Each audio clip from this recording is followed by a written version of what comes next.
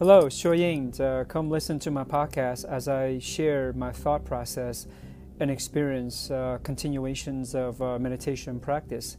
And that is really sharing the thoughts how to break through and break free from my own conditioning. And hopefully that will help you with your meditation practice.